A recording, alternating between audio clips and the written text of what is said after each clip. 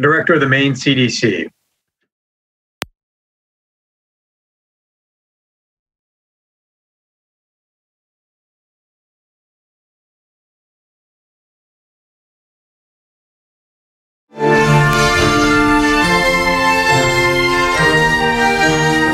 September 15th, 2021. I'll start with some epidemiological updates and then turn things over to Commissioner Lambrew talk about some new advances and, new data that we are releasing around school vaccination rates. And I begin my updates today on a series of unfortunate and sad notes. Maine CDC is reporting the deaths of seven additional Maine people with COVID 19. They include two residents of Hancock County, one resident of Kennebec County, one resident of Knox County, two residents of Penobscot County, and one resident of Waldo County. One was a woman, and six were men. Two were in their 50s, three in their 60s, and two were in their 70s. These seven deaths bring the total number of deaths in Maine related to COVID 19 to now stand at 976. We'd like to take a moment to offer our deepest condolences to the friends, family members, and communities of all those who have died from COVID 19 throughout the pandemic. right now in the state, we have logged 81,955 cases of COVID 19, representing an increase of 778 cases since yesterday, and an increase of 3,152 cases since we spoke one week ago. Cumulatively, 2,388 people have been in the hospital. And our cases happen to include 5,839 healthcare workers.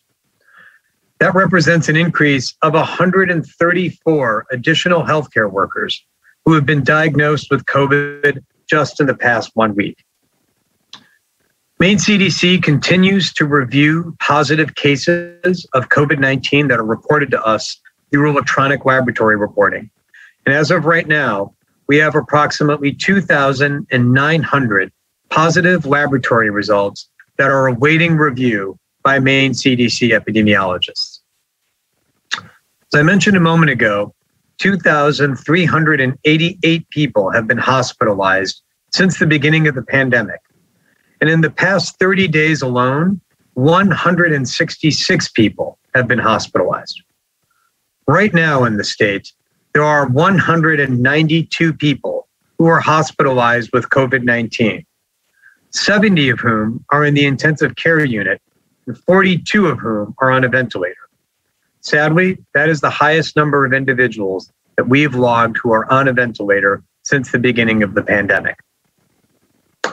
I know there's been a recent focus on the number of children who have been affected by COVID 19, and I wanted to touch on and add a few additional data points there, specifically with respect to children who have been hospitalized. Right now in the state, there are two children who are hospitalized with COVID 19, and over the past 30 days, five pediatric hospitalizations. Right now, thankfully, there are no children in intensive care units in Maine but in the past 30 days, there has been one child who's been admitted to the intensive care unit with COVID 19. In total, based on data from yesterday, there have been a total of nine pediatric ICU hospitalizations across the state throughout the pandemic. Turning next to testing. Right now in Maine, our positivity rate stands at 6.06% which sadly is the highest it's been since January 9th of this year. However, our testing volume continues to increase. Right now, Maine is conducting 477 PCR tests for every 100,000 people in the state. That's a 27.5% increase in PCR tests that are being done just over the past seven days alone. As we talked about one week ago, we acknowledge that testing has been a challenge. And getting a test has been a challenge from an access perspective. We're doing everything we can to build out more testing infrastructure across the state. And as I mentioned, we're starting to see those benefits reflected in our numbers. And finally, before uh, a couple of notes on vaccines. As of this morning, 900,614 people are fully vaccinated in the state of Maine. That translates to two out of every three people that you might meet on the streets, regardless of their age. Now, of those 900,000, 2,258 have experienced a breakthrough case. To put that number in perspective, 99.75% of all fully vaccinated people in Maine have not experienced a breakthrough case. Statewide, vaccinations continue, and we're increasing our rates there. Right now in the state, we are administering 2,406 doses on average every single day. That's a 20% increase in vaccine administration rates just over the past week alone. And finally, before I turn things over to Commissioner Lambrew, I'd like to take a moment to talk about where we are with respect to one question that's come into us and that I've seen on social media quite a bit. And that is where we stand with boosters for COVID 19 vaccine. Well, the bottom line there is that over the next week, all of us will be learning much more about the scientific data that surrounds boosters. There are a number of questions right now. For example, are the vaccines that we've all been taking and have been talking about still effective? Thankfully, the early data there continue to suggest that the answer to that question about whether vaccines remain effective is a resounding yes. Another question, though, is are booster doses needed? And if so, for whom? This is, in many ways, the key question. Right now, there are four variables that surround this question around booster doses. The first question is for what age groups might boosters be indicated? Right now, the discussion is around boosters should be available to those either 16 and up or perhaps to a smaller subset of folks, say, for example, those 65 and over. The second question is which vaccines are we talking about? Right now, the US FDA has only received an application from Pfizer to administer booster doses for their COVID 19 vaccine. Although we may see applications from Moderna and J&J, right now there are not yet sufficient data to help us answer these questions. The third question is with what time period since receipt of the second dose should a booster be administered? The discussion right now is around whether that time period should be six months after you got your second dose, or perhaps something a bit longer, like eight months. And then the final question is whether folks who are in specific locations, like, for example, nursing homes or perhaps healthcare workers, whether they should receive boosters if one of the other criteria that I mentioned don't apply. From a process perspective, there are a couple of steps moving forward. Right now, we don't have answers to those questions. But over the next week, the US FDA and the US CDC's advisory committees will be, meet, will be meeting to review the data as it currently stands. We'll have better senses on the answers to those questions and what they mean over the next seven or eight days. But here's what you need to know right now, today. Although there's a lot of discussion and a lot of questions around boosters, Boosters are not a medical emergency. They are important, but they are not the, pa- the pathway out of the pandemic at this point. So, what is the pathway out of the pandemic? Well, as much as boosters are in the news, our focus remains as much as on first doses as it does on third doses. First doses, primary vaccines, will be the way that we find ourselves out of the COVID tunnel. That's because you can't get a booster until you've had your first two doses. And that's why we are just as much focused on getting folks their first shot as we are their third shot. There will undoubtedly be more information coming out about boosters as these various federal advisory committees meet. As they conduct their analysis and make recommendations to the US FDA and the US CDC, we'll be here to provide updates for everyone. I'd like to turn things over to Commissioner Lambrew. Thank you, Director Shah. Today, the Maine Department of Health and Human Services, in partnership with the Maine Department of Education, published COVID 19 vaccination rates for school staff, launching a new monthly public reporting system that will guide efforts to support vaccination. On average, 76% of Maine school staff were fully vaccinated against COVID 19 as of August 31st. This is with 85% of schools reporting. School staff vaccination rates range from 89% in Cumberland County to 61% in Waldo County. The vaccination rate dashboard reflects both school and central operations staff at pre K through grade 12 schools in both public and private schools. By publishing these vaccination rates each month, we hope to boost school staff vaccination rates even further, curb the spread of COVID 19, and equip our school leaders with information to make the best decisions for their communities. I join Commissioner of Education, uh, Commissioner of Education Pender Makin in thanking school leadership for this reporting, as well as the steps that all of our school staff are taking to help protect the health and in-person learning of our students. And with that, Director Shah, I'll turn it back over to you for questions. Great. Thanks, Commissioner. Uh, the first question for the afternoon today goes to Megan from WMTW. Thank you, Dr. Shah and Commissioner Lambrew for taking our questions. Dr. Shah, if we could, I would want, want to go back to um, what you were talking about uh, with with respect to children hospitalized with COVID.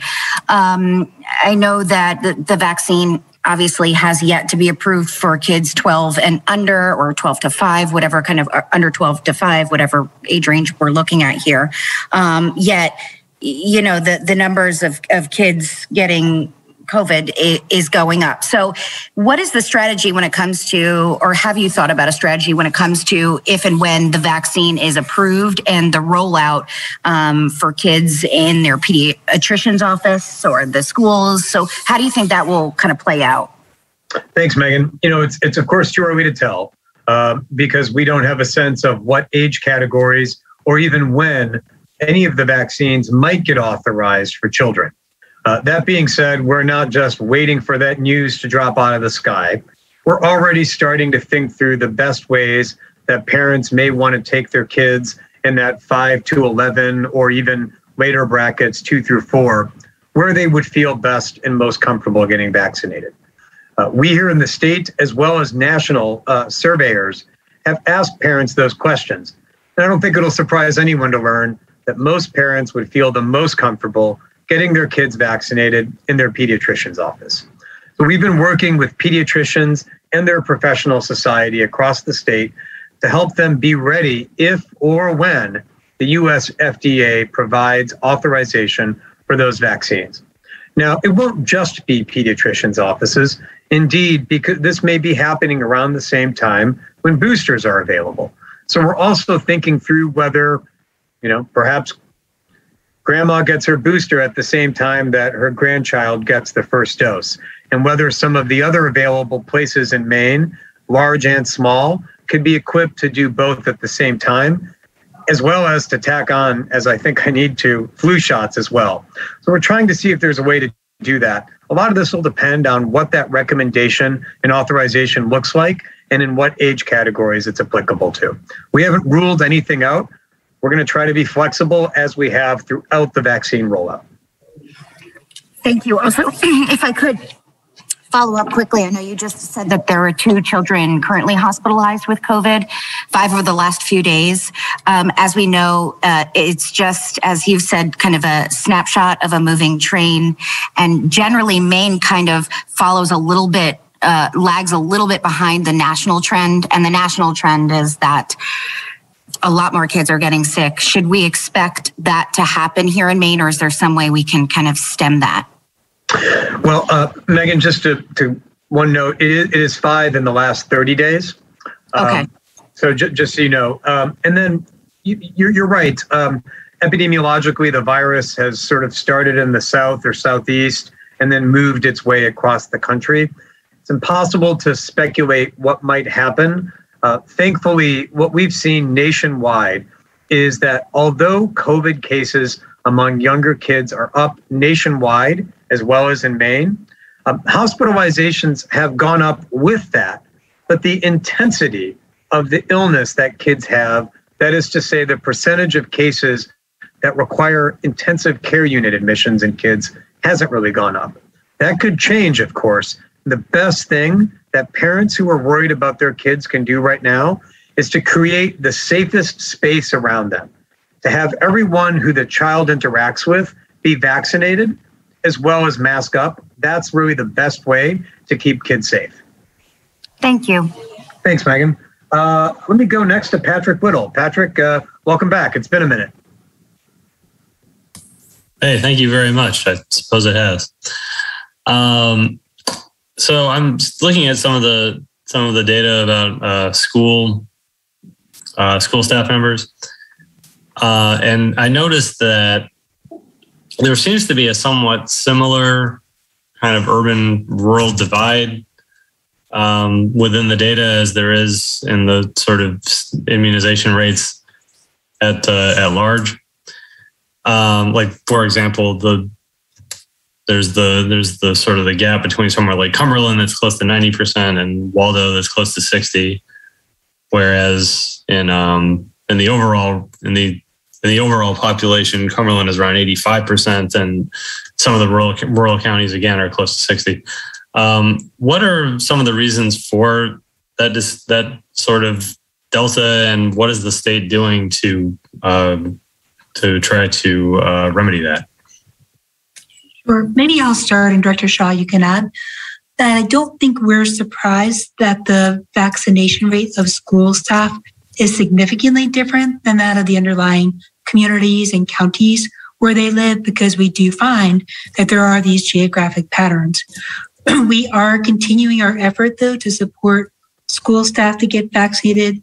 As you'll recall, last March, we held special clinics throughout the state for our school staff.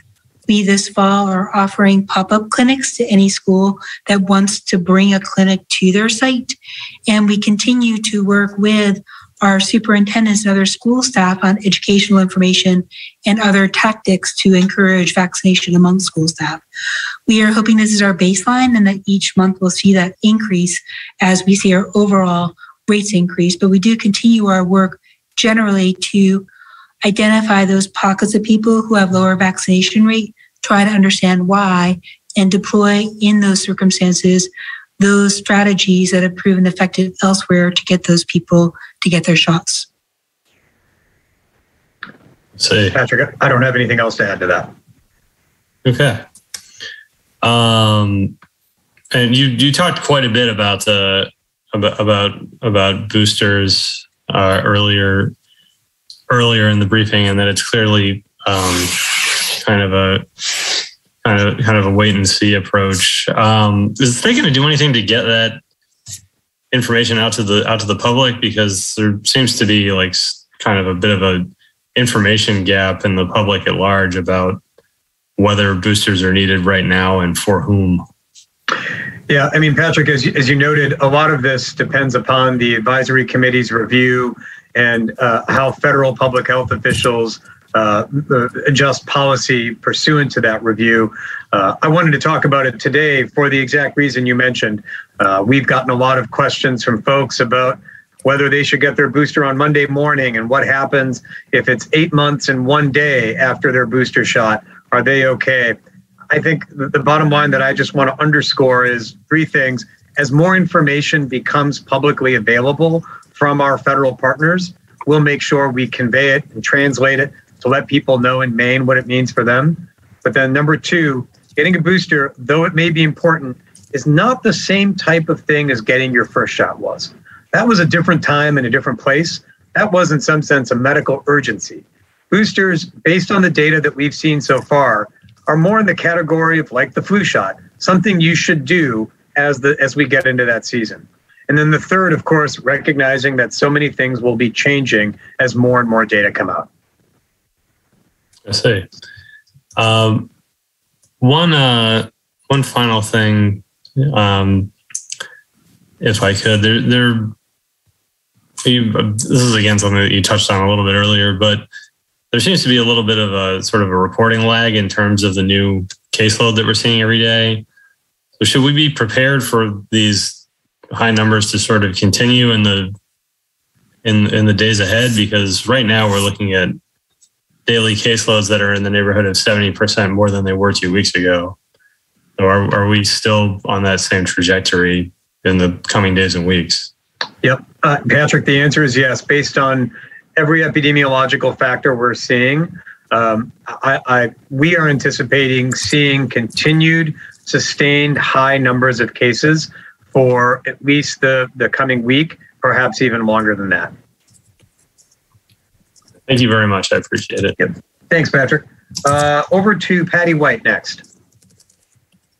Thanks, Dr. Shah, Commissioner Lambrew. I've got a few questions. Um, in terms of COVID cases in schools, how much is the transmission actually happening within school buildings, and where is it primarily happening? In lunchrooms or buses or classrooms? Yep. Um, thanks for raising that, Patty. Here's where we are, and here's what we know right now.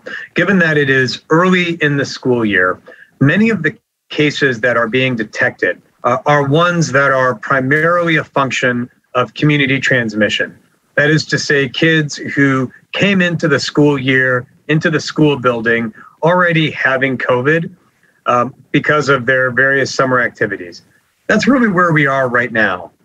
Uh, as we saw last school year, although there was some degree of transmission of COVID in the community, um, in the school, it was for the most part lower than the rate of transmission in the underlying community. Uh, we are, because of the, the changes that have been made, uh, the focus on things like ventilation, our expectation is that we will continue to see schools being a safe place. That is to say, not being a place where transmission consistently occurs. But right now, Patty, it is too early in the school year to go out with that conclusion. Right now, we're really seeing the follow up of a lot of community transmission. It's too early to see whether we're then seeing secondary waves of transmission within the school. It's almost certain that they will happen. The question is whether they'll be happening at a rate greater than the background community. Okay. And many schools are saying that they're only seeing 20 to 30% of students sign up for pooled testing. If the take up rate is that low, will pooled testing still be an effective tool? And what is the crunch in the BinaxNOW test? How does that affect uh, pool testing? Great. Uh, let me start with the latter, Patty, because I think it was two weeks ago uh, where I expressed some concern about the availability of BinaxNOW and um, the concern that it might impact pooled testing. Thankfully, let me be clear, it has not. Uh, we have been able to furnish the schools that are participating in pooled testing with the BinaxNOW card test that they need to keep the pooled testing program afloat. Uh, it's been a challenge. I want to thank a lot of folks at Maine DHHS, Maine CDC, and DOE for making that happen. Thankfully, the pooled testing program has not been hamstrung. Um, in terms of the participation rate, you raise you raise the right question and, and the right concern. Uh, if participation rates are not above, uh, if they're not as high as they could be, the utility of pooled testing does go down, but it doesn't go to zero. It still remains an effective way um, be, to, to get a sense of what's going on in schools uh, because you're getting a sample. Usually in epidemiological testing, uh, sampling is the best we get. We don't routinely test everyone in Maine to understand what's happening. We have a sample of people, and that's how we extrapolate. The same holds true with pooled testing. Would it be preferable if 100% of those in the school building were being tested, no question about that. But the fact that it's in the 20s and 30s, although not ideal, doesn't render it un, uh, unhelpful. Okay, great. One last quick question. Um, there are now two Senate Democratic leaders who've tested positive for COVID 19. Is the CDC investigating? I'm just wondering if this could turn into an outbreak and if the two cases already identified are connected epidemiologically. Yeah. Uh, Patty, you know, um, we just don't comment on individual cases in that manner. So unfortunately, I can't say anything more right now, or okay. probably, or in the future. Okay, thanks. Yeah, thank you. Thank you. Uh, let me go to Chris Costa next. Hi, Dr. Shah and Commissioner Lambrew. Thanks for taking our questions today. Um, the first question I have is, is, is probably for both of you. I'd be interested to hear both of your opinions. Um, and and it's sort of a two part question, so please bear with me. Um, just wondering uh, if there's any update from DHHS, the Office of uh, Family and Child Services, about uh, child care centers. If there's going to be any renewed guidance or new guidance coming out for them. Um, as we've talked about a lot recently, you know, those are kids who, in, in, some cases, if they're under the age of two, you know, can't wear a mask. Um, you know, obviously, those kids in child care centers are usually too are, they're too young to get vaccinated. Um, and as we've talked about, we've seen case rates at least climbing, even if they're not, even the kids are not going to the hospital. Um, has there been any discussion between Family and Child Services, DHHS, CDC, uh, about issuing some new guidance? And, and do we know what that would look like for child care centers? Sure. I'll begin by saying we treat our child care providers as much like schools as possible. I mean, these are people who are caring for and teaching our youngest children. So we greatly value their work and their ability to keep children safe during this pandemic. The rate of outbreaks and cases in childcare in Maine has been relatively low, and we appreciate that work we have, in the same way that we recommend that school leaders adopt US CDC recommendations, had done the same with our childcare providers. There are childcare guidelines from the US CDC that we do recommend that our childcare providers follow. Our Office of Child and Family Services provides that information as well as other updates to our childcare providers on a periodic basis. We're also working with them to make sure that they know what their testing options are since pool testing is not quite as available to childcare as it is to schools given the structure of childcare. But we continue to work on a regular basis with our childcare providers, knowing that their children that they care for, like our school children, are not yet able to be vaccinated. Uh, I just wanted to add a kind of a second part to that question. I, have heard from a lot of parents who have been um, kind of concerned about what their individual child care centers policies are around COVID. Do either of you have any recommendations for parents who um, are I, generally the trend has been they're wishing that the policies were a bit more strict um, in terms of you know how they mask, how they require staff to be vaccinated. Do you guys have any advice for parents on that front? I'll begin by saying we, we have moved to this phase where we are relying on our communities, our leaders, our employers to adopt these best practices as recommended by USCDC. I do think that we have an ability for our parents to be talking to their child care providers about these recommendations. It's easy to find the USCDC child care recommendations is a quick Google search. So we do urge parents to take a look at those guidance guidelines themselves so they understand them. Recognize that we are currently in all of our Maine counties in areas of substantial and high community transmission, which does suggest or recommend that people wear masks in indoor public settings, including childcare settings um, in those counties. So we do urge parents to be informed and to talk to their childcare providers about those recommendations should there be a concern that they're not following them. And then, Dr. Shah, I just wanted to clarify one last thing that, that you had mentioned. Um, you talked about kind of the intensity uh, of the virus that we're seeing in, in kids, and that it's it's not necessarily leading to more intense levels of, of, of treatment that's needed. Um, can you help kind of clarify for parents who, who are feeling a little bit confused about that? It, does that mean we need to take different or maybe lesser precautions around kids? Or I mean, I know that generally the the idea is follow the US CDC guidance as it relates to, you know, things like schools. Can you help kind of provide some clarity for parents on that front? Sure thing, Chris. Let's first um, let's talk about what's going on and then what, what parents can do. There are two ways um, in which the Delta variant could be worse for all of us, including kids. Way number one is that it could be more contagious and just cause more people to get sick. Way number two is that when it gets people sick, the type of sickness that they experience could be a lot worse than the former one. With kids, it looks like the main impact of the Delta variant is really that first one. It just spreads from kid to kid or from person to person a heck of a lot more easily. And in so doing, it causes a lot more cases.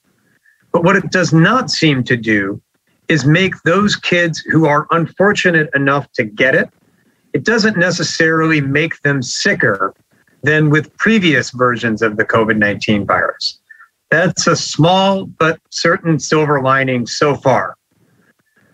What that means is that although there are more kids who nationwide are being hospitalized, the percentage of those kids who require, say, a stay in an intensive care unit hasn't changed from previous times in the pandemic. What can you do as a parent? Go back to what I mentioned a moment ago. The best thing you can do to protect your kid from Delta or COVID is really a lot of what you've been doing throughout the pandemic to keep your kids safe, keep their environment safe. Try to have everyone around them be vaccinated. Try to have them be wearing masks if they're not with folks who are in their household particularly when they're in an indoor public setting. And of course, if your child is 12 and over, we strongly recommend that they go get vaccinated. Thank you both. Yep. Thanks, Chris. Uh, let me go to Eric Russell next. Thank you, Dr. Shah, Commissioner Lambrew. I have two questions. Um, the first question I had is I know there was a lot of talk um, prior to the um, implementation of the vaccine mandate for healthcare workers. Can you guys tell me if there's been any discussion, similar discussion about a mandate for educators, for teachers or school staff, um, and whether or not there's been any recent discussion or movement on that? And if so, why not? So, as I mentioned earlier, we have been supporting schools to get their staff vaccinated from the start. We had those special clinics in March. We worked with the Biden administration in March to prioritize school staff for vaccination. We have been offering special pop up clinics to schools uh, throughout the summer and into the fall. And we are using the new data we just received to figure out where are we? Are there differentiations by region, by different grades, elementary school, middle school, high school, as well as differences between central staff or school staff between public schools and private schools. These data are just coming in today. The reports were due last Friday. We appreciate the fact that 85% of all schools in Maine submitted those data. So we, we will be looking at this information, talking to our school leaders to see what additional actions we can take to get even more school staff vaccinated. So it's not off the table necessarily? We are seeing where we are in terms of our vaccination levels. We will take a look at this. Uh, President Biden did point to different states that have enacted vaccine requirements. We would have to look at our own authorities. But at this point in time, we are doing that baseline assessment. Where are we? And as I mentioned earlier, we're in pretty good shape overall. We have about 76% of our school staff who are vaccinated. In some of our counties and some of our schools, even higher. So we're doing a good hard assessment of those data, talking to our school leaders to figure out what our next steps are to improve that. Thank you. Uh, and Dr. Shah, maybe you can answer this one. I know you have talked a fair amount about preparing for the Delta variant, and we sort of knew it was coming and we predicted it, and it came here. And so, given that, how why has it been so challenging to process the high volume of tests? Has it been more than you expected, or are there other issues that we don't know about? Because it seems like the volume is high, but it's not necessarily as high as, or maybe it is, you know, similar to what it was during the January and February surge. So, what are the dynamics at play there? Yeah, no, thanks for that question, Eric. Um, you're, you're, you you sort of went in that in that direction. Um, we were we were prepared. We did start staffing up. Uh, we've added now dozens of additional individuals, about three dozen additional individuals who are focused on processing these, uh, bringing the total number now to about uh, uh 145 or so. Um, but even then, we, in that respect, we didn't think that the onslaught of cases that we would be getting would be where we are right now. Uh, you know, in, in previous peaks back in say January, we were seeing on the order of approximately 400 to 450 positive results per day. Uh, today alone, we had over 620. Um, so you know th- this is this is a peak upon a peak, even greater than what we thought we were going to get. So we're continuing to add staff. Uh, we had a training session yesterday and Monday where we trained 10 additional individuals. We've got another uh, training session coming up soon.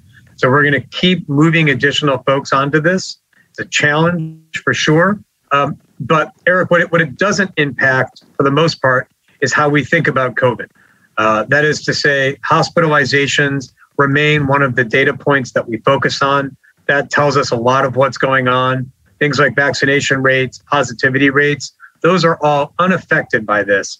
And those are a lot of the data points that we really use to get a sense of the dynamics on a day to day basis. Okay, thank you very much. Thanks, Eric. Uh, let me go back to, uh, let me go to Emily at the Sun Journal next. Hi, good afternoon, both of you. So I wanted to go back to something that Patty asked earlier about transmission in schools.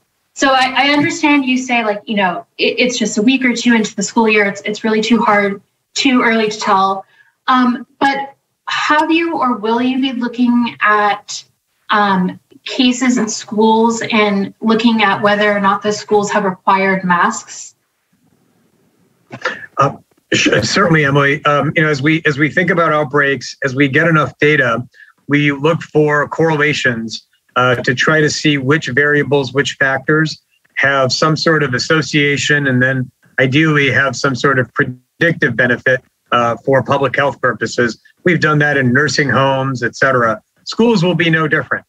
We're always taking a retrospective look at any type of outbreak situation to see how it stacks up against others. Right now, this early, it's really it's too early to tell whether variables like masking or vaccination rates, it's too early to tell exactly what degree of impact they have on things like case rates and outbreaks uh, we you got to we have to accumulate a lot more data to be able to run those regressions. Okay, thank you. And uh, my second question I spoke to a pediatrician yesterday who said that over half of the new COVID cases that she saw were kids with runny noses. So parents came in, you know, they thought, oh, it's just allergies, but we'll get we'll get my kid checked, uh, tested. And this pediatrician said that a lot of the school nurses she spoke to said that runny nose alone doesn't preclude a kid from school, um, even though runny noses are, are pretty common uh, in for kids with COVID. So may, maybe this is a question for Commissioner Lambrew as well. Is there any talk about um, maybe adjusting those pre-screening checklists that most schools require to include more symptoms that are that are more common in kids versus adults? I, I, can start there, and Commissioner, by all means, if, if you've got um, additional uh, facts to add. The um, Emily, we've we've been you know uh, nationally. There's been uh, as we've gotten more data around what COVID, in particular the Delta variant, means. Uh, we have a better sense of the symptomology, the symptoms that are most present when people have the Delta variant. Uh, earlier on in the variant surge, uh, we, we saw, for example, that runny noses were more common in adults. We're starting to see that in kids, although, again, there too, we don't quite yet have a robust enough data set to really be able to say that the runny nose is the predominant or most common symptom. It may turn out to be that case, uh, but right now, we don't quite have that. Uh, if that were to be the case, we would have to take a look at the pre symptom or pre arrival guidelines because, as you note, runny noses are very common. Something that occurs commonly that can be caused by numerous different things, be it a, a seasonal cold, allergies, or COVID. We'll have to think about what a runny nose means and whether that should be pooled, for example, with a test before the kid comes to school, something of that nature. Um, we don't have any answers today because we don't have all the data in as a country, but that will be the decision tree, particularly with something as common as a symptom like runny nose. Okay, and I just wanted to, to follow up on that um, since the theme here seems to be advice for parents. Uh, you mentioned that runny nose seemed to be a little more common in adults with Delta, but generally speaking, like, you know, kids are going back to school. can can you kind of review like symptoms parents should be on the lookout for in kids? Has it changed from last year? You know, with Delta, um, you know, what kind of like a, a, renewed look at of what people should be looking out for? Sure. Um, you know, the, the the core symptoms that are of the most concern with kids remain similar to those in adults. That is to say, symptoms like cough, fever, shortness of breath, those are the symptoms that signal an acute illness, an illness where you may want to be consulting with your child's nurse practitioner, pediatrician, or other healthcare provider. But with COVID, we've seen that there can be a number of other symptoms, including things, even in kids, like runny noses, changes in the way that they taste, etc. The best thing to do in this situation is, and I'm taking this from a pediatrician friend uh, who indicated to me that parents often have a sense of when something is um, is different for their child. Knowing your child and knowing whether the cough that they've got is the cough that they usually have in the morning, maybe related to dust in the house, or whether it's something that's different, the way it sounds, the how intense it is. Those are some of the things that parents are already well attuned to understanding with their kids, and in an era of COVID will serve them really well. Okay, thank you. Thanks. Uh, let me go to Mel Meyer next.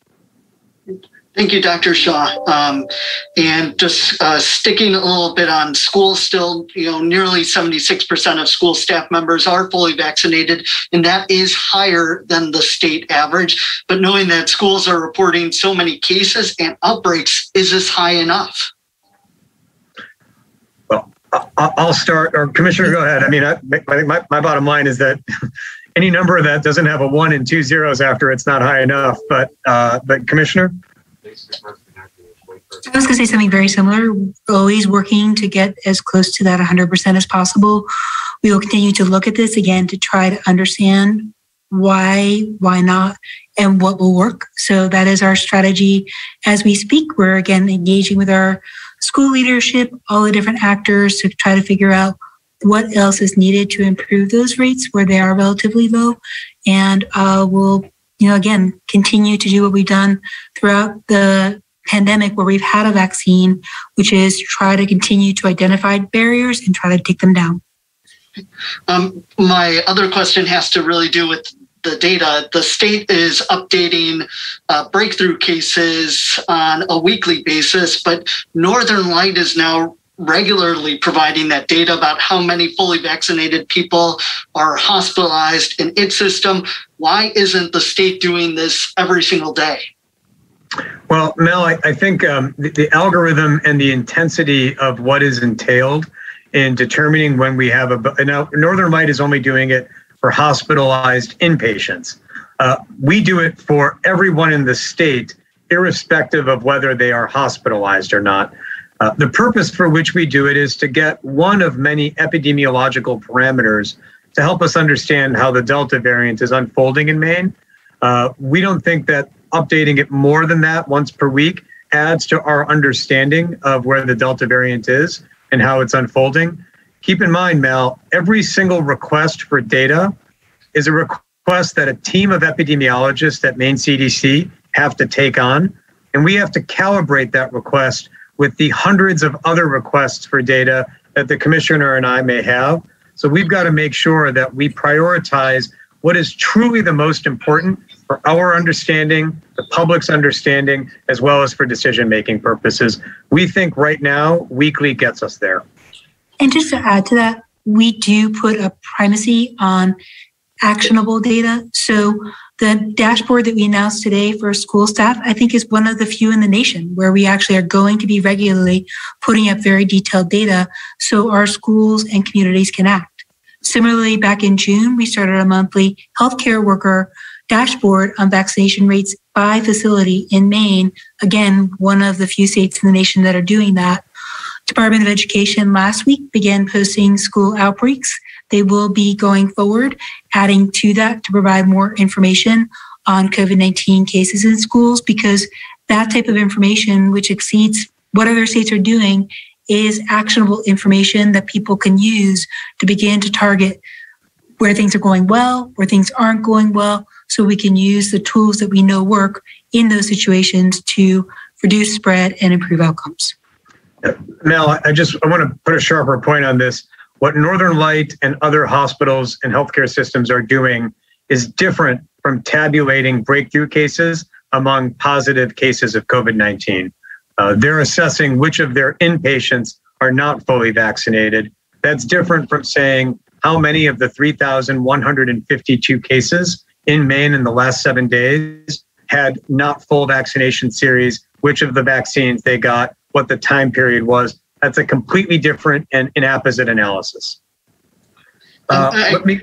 Oh, sorry. If I if I could, just one last question. Like you know, we are so many months now into this vaccine rollout, and some of these rates, um, especially when looking at the zip code tracker, have not so significantly changed. Have we missed out on the critical time to get people vaccinated? Mel, I think there's always time to get folks vaccinated, um, and I don't think we've missed out. Uh, Maine remains one of the most vaccinated states in the country. Um, so I don't think we've missed out on our window. I think the, the goal for us right now is to figure out of, of those who have not been vaccinated, what barriers are they facing to not be to getting vaccinated? And what factual questions do they have that, if answered, would get them to go get vaccinated? That's really the focus right now. Thank you. Uh, let me turn it over to Caitlin Andrews next. Good afternoon, everybody. Um, I my first question I just wanted to kind of circle back to something Patty asked as well, and kind of just ask it a different way, um, which is: Is the CDC investing any um, outbreaks connected to the state house at all? Outbreaks in, in, in connection with what? The state house. Um, you know, there, there too, Caitlin. Just not going to comment on individual cases there. Um, so I, I don't have any more to say about that. Okay.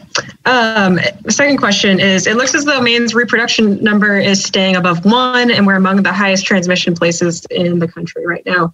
How do you see this interacting with our high vaccination rates? And is this an indication that the state's current strategy, um, either on public health or um, in the economic side, needs to change? Well, let's first start with the reproductive rate. It, it remains one for the entire globe. Uh, there's not a, a, place in the world where it's under a one right now, notwithstanding what some of the, the quick trackers uh, will, will, will say. It, you know, the, for almost every infectious disease uh, that's in an outbreak status, it, it remains above one. Um, so it, that's that's the case here in Maine as well. Uh, there, there was a brief period last week where the rates were very high. Uh, Maine has now been supplanted, according to the US CDC, by West Virginia, South Carolina, a number of the mid Atlantic states, which are now seeing the highest rates of growth. Uh, this is as much a function of the ways that the patterns of transmission change as the variants move through a population. Uh, as they do so, the patterns will modulate. There will be peaks, there will be troughs. Uh, I, that's that's less indicative of things like economic policy and much more indicative of the way that the virus moves. Thank you. And my last question was about the booster program when it does, or when they do become available. Does the state see itself kind of having like a a hand in managing how those are doled out? Is that just something that like um, the providers are going to manage? Like, you know, are you going to be putting out um, doses specifically meant for boosters. Can you talk a little bit more about that?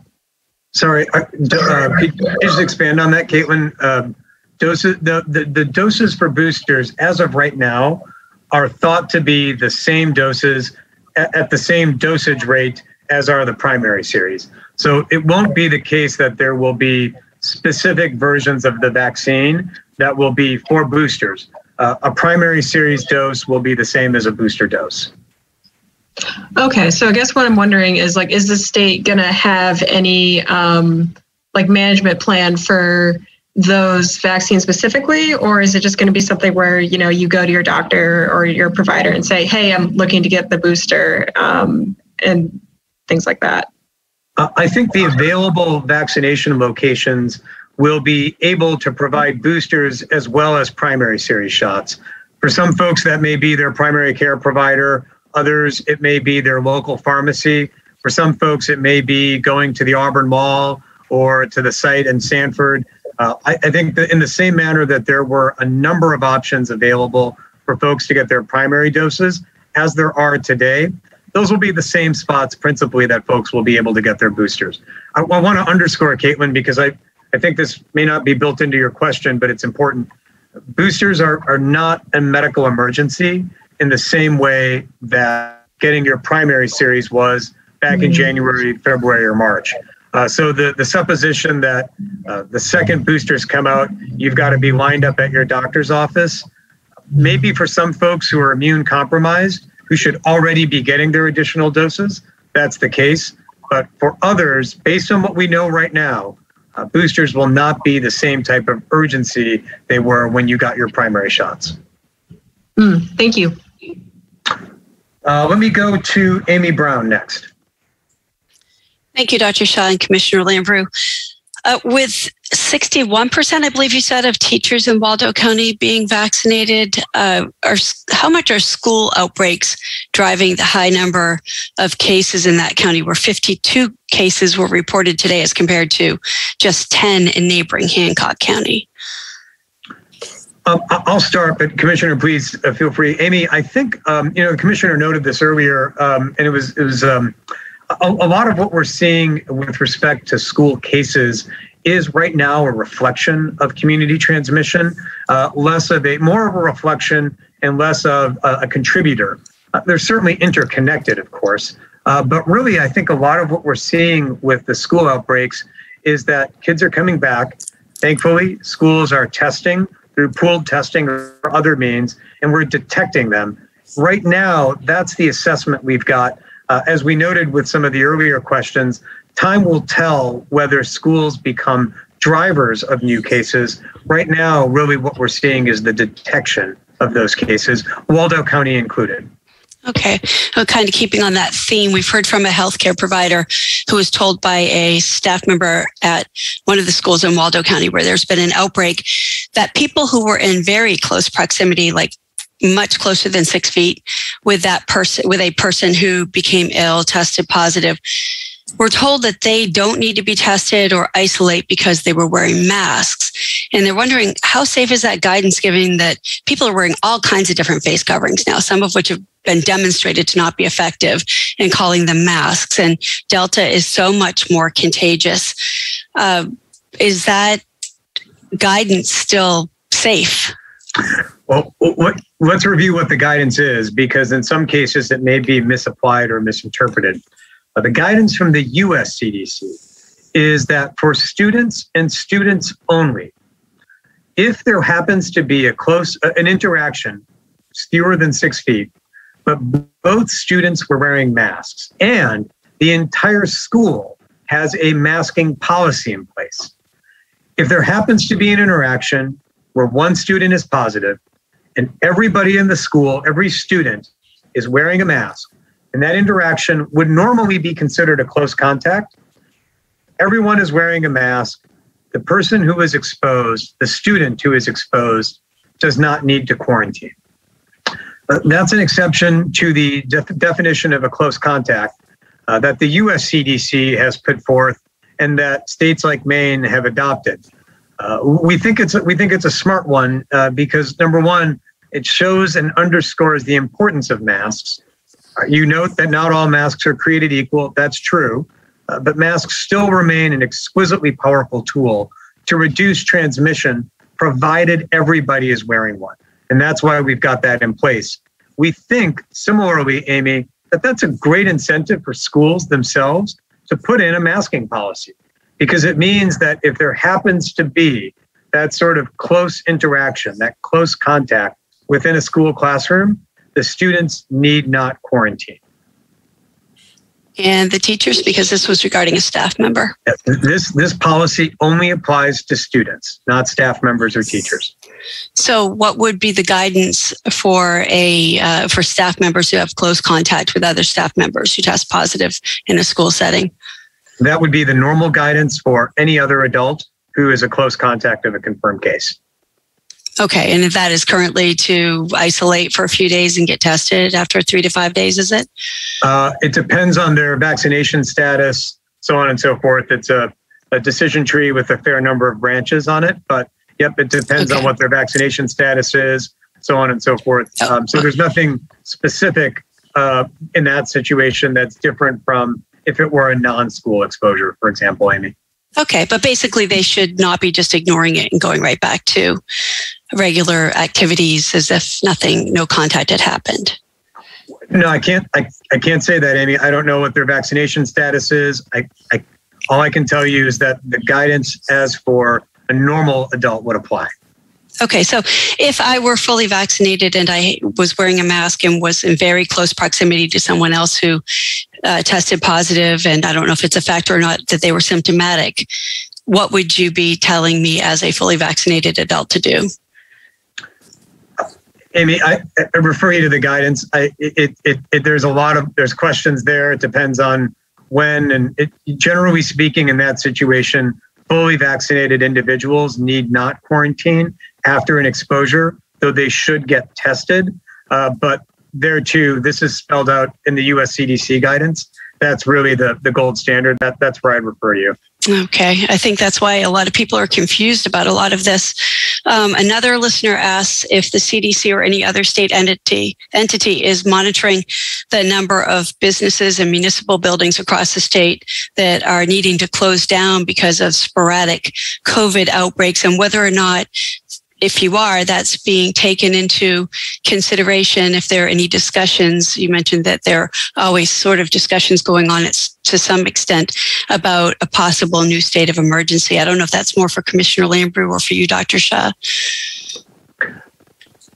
I can. Or um, go ahead, Commissioner. take this on and say, look, I, I appreciate that the guidance that now reflects the fact that people who are fully vaccinated may have different rules and people who are not is confusing.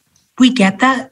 But we also want to recognize the fact that we want to keep businesses, schools, municipal buildings open. We want to be able to return to some level of engagement and normalcy safely, which is why the guidance may be more complicated, but it is enabling the Maine economy to grow, our kids to be back in person learning, as well as our different essential functions at the state level to continue. So, it does it take more uh, work to understand it? Yes.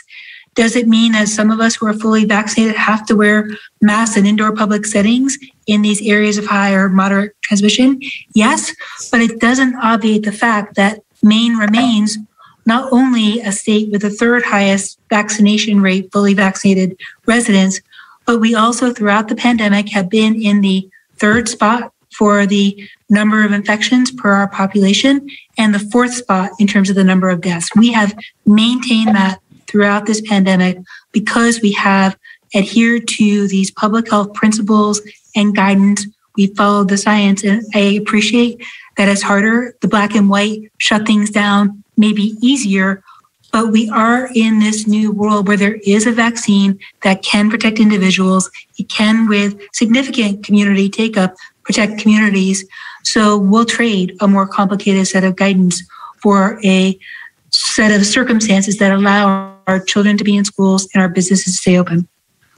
Okay, we are seeing significant increase in hospitalizations and so forth, though. So I just you know we're getting a lot of questions about exactly what are those guidelines but my my other my question that i was just asking about is whether or not anyone is monitoring the number of business closures and municipal buildings that are being closed and whether or not that's being taken into consideration in any future actions So we are, yeah, we are no longer in a state of civil emergency. We are not at the state level um, directing closures or tracking closures because that's not state policy. Um, given the fact that businesses, municipal buildings on their own may make decisions about whether or not they have the staff, have the capacity to be able to stay open with public health protocols, that's going to be a decision made at the local or private level. Okay. And just one last question. Can you say how many of the uh, 30 deaths that were reported in the last week here in Maine were among people who are unvaccinated? And how many people died in the past week from vaccine side effects in Maine? Zero people died from vaccine side effects in Maine in the past week. So far as I'm aware, zero people have died from vaccine side effects in Maine, period. we can check on that as well as on the former number. Okay, Uh, thank you. Let me go to Brian Sullivan to round us out for the afternoon. Actually, sorry, I, ju- I just want to stop there for a second. Um, Amy, you've asked that question a couple of times, um, and it suggests that there is an ongoing concern with people dying from vaccine side effects. Uh, the answer is that we still need to keep in mind that the risk of COVID far outweighs the risks of vaccines, particularly when it comes to deaths. So there is not some ongoing underlying concern with people dying from the vaccines, particularly in light of the Delta variant. Right. I just, we get constant questions from people who are still concerned about the vaccine. So I just want to give you an I it's a opportunity to say that. Reasonable Yeah. thing to say to folks that that is not where the concern is. Uh, let me go to Brian Sullivan next.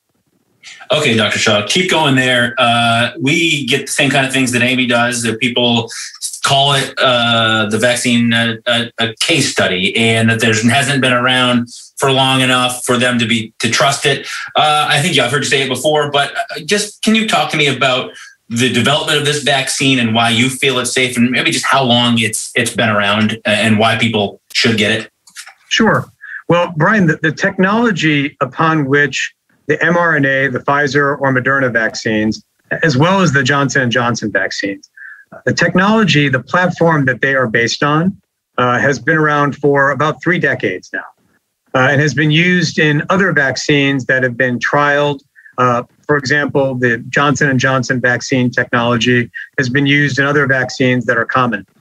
The vaccines fundamentally just contain a couple of things. For example, the Pfizer and Moderna vaccines contain a small fat particle, uh, a substance called PEG that's been injected into people for decades, and a little bit of RNA. And that's really all they contain. They were tested in tens of thousands of people around the world who were monitored for a number of other potential side effects. Everything from some pain in their arm all the way to Amy's question, all the way up to and including death from the vaccine. Uniformly, the vaccines were found to be safe, and not just safe, but effective. Since the vaccines have come out around the globe, at last count, there have been billions of doses. Or, oh, sorry, I should say, before I'll confirm this, Brian, but I'm, I, I can certainly say there have been hundreds of millions of doses of the vaccines that have been administered all around the world. And there, of course, have been side effects. Folks have had some pain in their arm, they've had some fatigue after they get their shot. But the side effects that we really get concerned about, so things like anaphylaxis, people having breathing problems, things of that sort, have thankfully been vanishingly rare and can be managed. The big question that everyone asks about is well, you don't know what the future holds.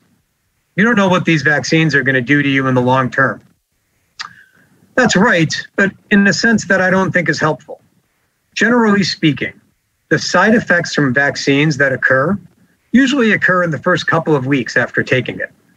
Side effects from vaccines, even these newer vaccines, don't occur months or years after taking them. And that's why, for me and for my family, I felt extremely confident in recommending that they take the vaccines as soon as they were able to. Again, it comes down to the fundamental calculus of where we are. What's the bigger risk out there? Is it COVID or is it the vaccines? And right now, with people in the hospital, people still sadly dying, there's no question in my mind that the bigger risk is COVID and not the vaccine. So, my question for folks who are watching, who are still on the fence, my questions come down to two things. What obstacles or barriers do you face right now in getting vaccinated? And what set of facts would convince you that today is the day to go get vaccinated? That, to me, Brian, is the exact conversation we should be having. Okay, and that is my last question here is what is the next thing? And Commissioner Lambrew, feel free to hop in. What is the next thing to get those first doses in? You know, we've tried the get your shot contest and talking with doctors, talking with family.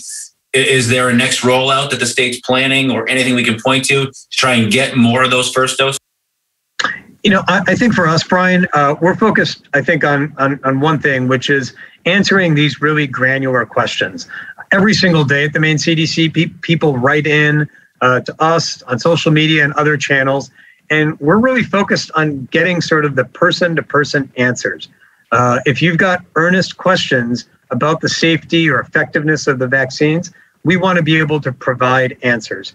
Uh, that's a lot of the questions and a lot of the work that we're doing right now. For example, recently there have been an uptick in questions around the impact of the vaccines on things like fertility. We've answered a lot of those, and we want to keep doing that. And I'll add that we also want we, we also want not just our experts, our doctors, our nurses to answer those questions.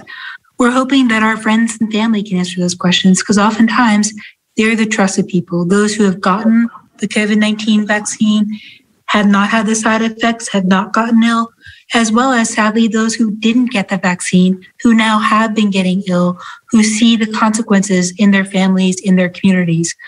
We think that we, we need all Maine people's help in this effort to explain both why the vaccine is safe and why not getting the vaccine puts yourself at risk of these, again, preventable illness. You can prevent being on a ventilator for the most part by getting a vaccine. You can prevent your loved ones from getting sick if they can't be vaccinated, if their children are immunocompromised by getting a vaccine.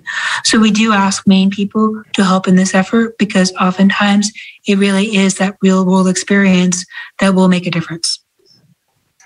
Okay, yeah, doctor. I was just going to say, if somebody's writing a letter to the Maine CDC uh, with a question, they're probably considering it, but the person who's not even considering writing a letter is probably also not considering getting a vaccine. So getting through to that person is probably the biggest bridge to cross. And I don't know uh, anything there, or it's just we're going to deal with what we're going to deal with first. Well, no, I mean, I don't, I don't want to be, uh, I don't want to be, um, uh, shrug my shoulders and say, well, we can only, you know, you're right, Brian. We've got to, we've got to reach out to folks who are not reaching out to us. Uh, we, we've got a role to play there. Uh, certainly, our colleagues in the media do, um, and and physicians. Uh, time and time again, a lot of data have shown that uh, that brief interaction you might have with your physician, nurse practitioner, or healthcare provider, if they mention, "Hey, if you haven't gotten your COVID shot, today's today, today's the day," uh, that this is part of the ongoing conversation uh, that we're going to be having, the media is going to be having, and of course, always with healthcare providers. Our goal there, Brian, even though it's just it's so easy sometimes to say, "Gosh, those folks, you know, wh- wh- why haven't they been vaccinated yet?" We're trying to remain respectful and open, uh, as as well as as we reach out to folks who are not quite there yet. Great, thank you. Um, we've we've we've spent a lot of time with folks this afternoon so thank you to everyone who is still watching and joining us uh, commissioner i'll turn it over to you to round us out for the afternoon so I would just remind people that in addition to vaccination, we are making that widely available. We are improving our access to testing here in the state of Maine. So hopefully those people who are struggling to get appointments will be able to get those appointments a little bit easier in the near future. So thank you very much. Great. Thank you all for your time. Apologies for whom we cut into the three o'clock hour, uh, but thank you all for your time today. Appreciate all the questions and discussion. We look forward to chatting with everyone next week. In the meantime, as always, be kind and take care of one another. We'll talk again soon.